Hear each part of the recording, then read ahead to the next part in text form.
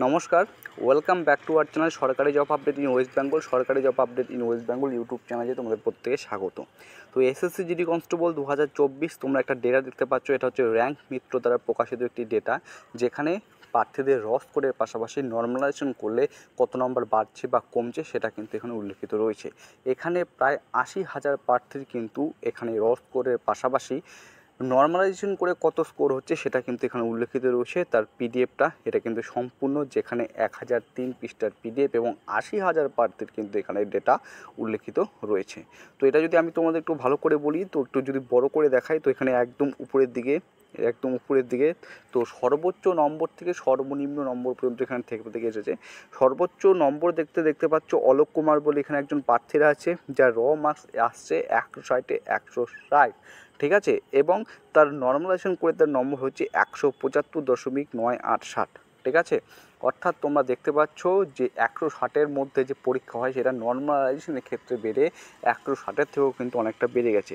For example এখানে যদি আমি তোমাদের বলি, দশ নম্বর র্যাঙ্কে দেখো, পাবন, শনি বলে একজন প্রার্থী রয়েছে, যার এখানে টোটাল মার্কস আসছে একশো একান্ন। ঠিক আছে? একশো একান্ন আসছে এবং নর্মালাইজেশন করে তার মার্কস আসছে একশো বাহাত্তর দশমিক আট নয় সাত। অর্থাৎ রস কোড থেকে তার নম্বর কিন্তু, একুশ নম্বর কিন্তু এখানে বৃদ্ধি পেয়েছে। আজকে সকালে একটা ভিডিও করে বলেছিলাম তো তোমাদের তোমাদের কিন্তু নম্বর নর্মালাইজেশনের ক্ষেত্রে কিন্তু পনেরো থেকে কুড়ি নম্বরও বেড়ে থাকে। কারণ প্রিভিয়াস ইয়ারে কিন্তু এরকম হয়েছিল, সেটা তোমাদের আমি লাইভ প্রুভও দেখিয়েছিলাম। কিন্তু এটা দেখে আমি তোমাদের একটা কথা বলতে চাই, ঠিক আছে? মোটিভেশন সবসময় আপ রাখার চেষ্টা করবে। আমি তোমাদের এটা নিশ্চিত বলতে চাই, এখানে আশি হাজার জন প্রার্থীর ডেটা রয়েছে, ঠিকই।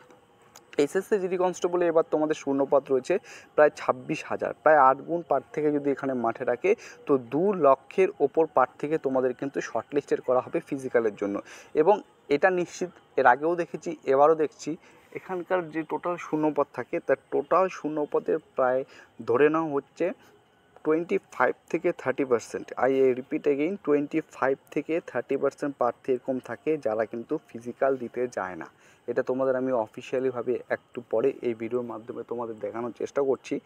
এখানে এসএসসি এমটিএস এসএসসি সিএইচএসএল সিজিএলের প্রচুর প্রার্থী থাকে, যারা নিজেকে যাচাই করার জন্য এরকম এক্সামে বসে, কিন্তু পরবর্তীকালে তারা ফিজিক্যালে কিন্তু তারা যায় না।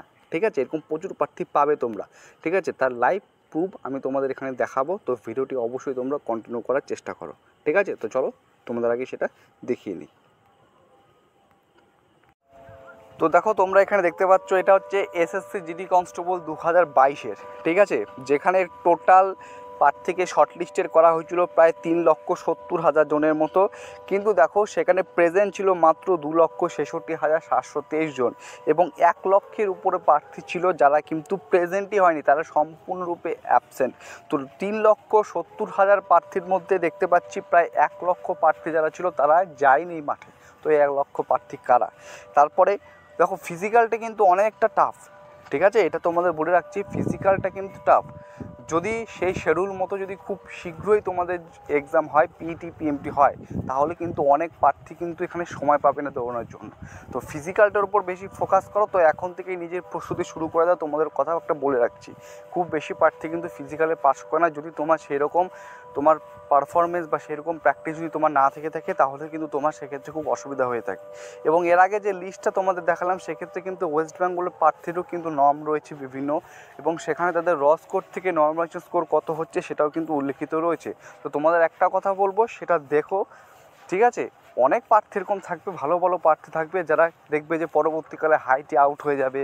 কারণ ফিজিক্যালের পর যেটা আছে সেটা হচ্ছে মেডিকেল এক্সাম তো আরও দুটো স্টেপ রয়েছে। তো চিন্তা করা করেন নাই, যারা মোটামুটি এভারেজ নাম্বার থেকে একটু আপের দিকে রয়েছো, তাদের বলব একটু ভালো করে ফিজিক্যালটা দেওয়ার চেষ্টা করো। আশা করছি তোমাদের প্রত্যেকেরই হয়ে যাবে, ঠিক আছে? তো এই ছিল আমাদের ভিডিও যদি ভিডিওটি ভালো লেগে থাকে, অবশ্যই লাইক করবে। যদি নতুন হয়ে থাকো চ্যানেলটিকে সাবস্ক্রাইব করে পাশে থাকার চেষ্টা করবে। জয় হিন্দ।